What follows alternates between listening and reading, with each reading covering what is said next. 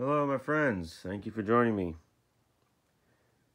This is the third time I'm shooting this video. I hope I can retain the uh, my original intent. I like to do things on a first take.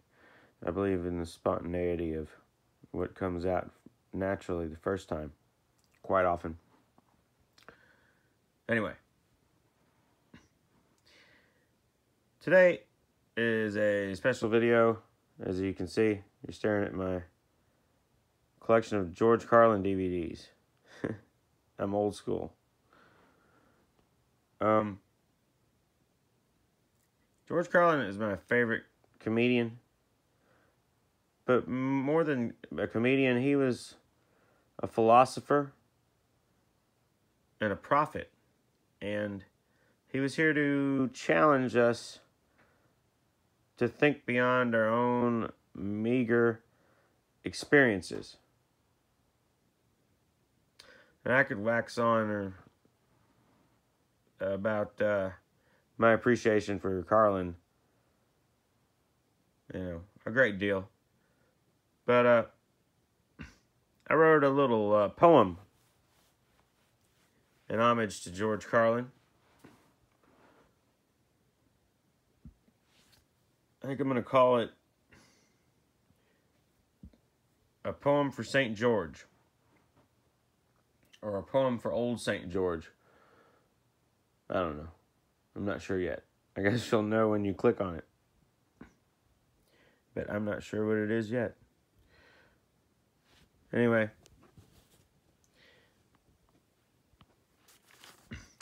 I'll read it now.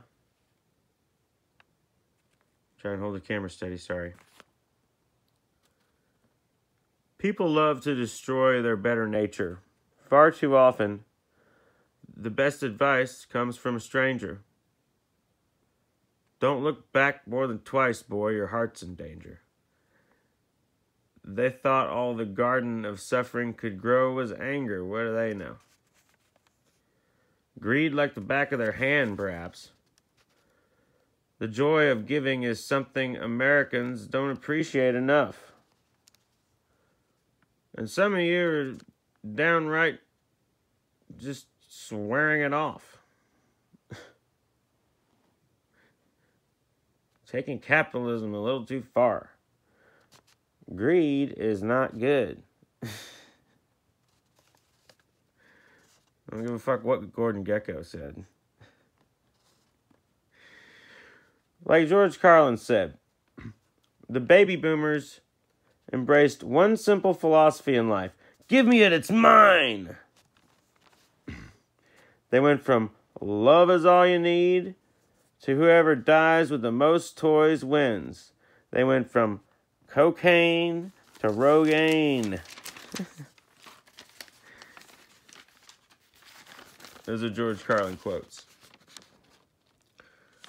And then that makes me think of another quote from the rock star Marilyn Manson, who said, We are your shit, and you shouldn't be ashamed of what you have eaten. And now here I am saying the same shit in every other video. Stop being fearful of what you don't understand. Let go of anger and try your best not to act on anger. Find compassion for all living things. Try to do your best to cause the least amount of suffering as you possibly can. Find joy in being kind. Find joy in compassion. We can be heroes, as the immortal David Bowie said.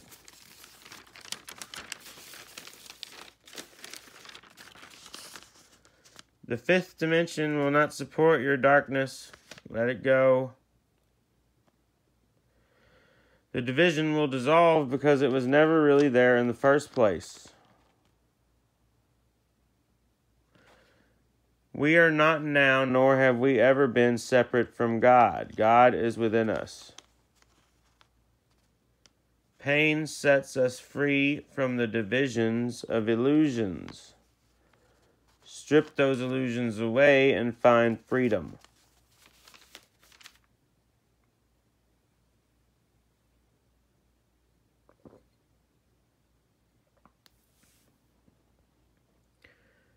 You know, freedom of thought is something that they can never take from us. There's an old Zen saying,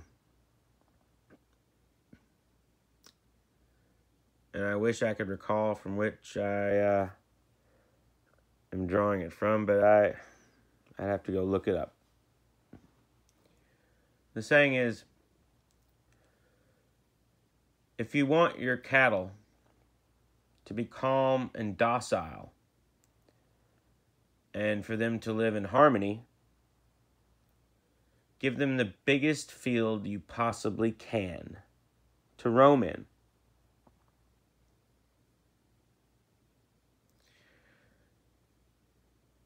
Fear is the root of all transgression. And anger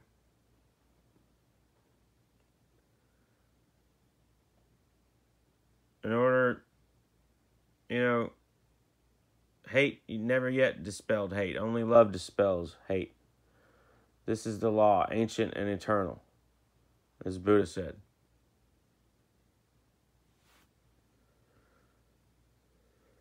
So, whatever anger you have in your heart for other people or other things, ultimately, it's just you yourself that is bound by anger of that you have really directed unconsciously to your own self. It's a complete mind fuck. And I don't have the battery capacity or storage to sit here and you know go on endlessly about it in this video but So I'll just close there. Talk about these concepts perhaps later. Anyway, God bless George Carlin. He was the man. The balls on this guy. He was fucking legendary. If uh, if you're not familiar with him, go on YouTube. Search George Carlin clips. Watch them all. Unfuck your mind. It'll do you some good. All right. Check you later, gang.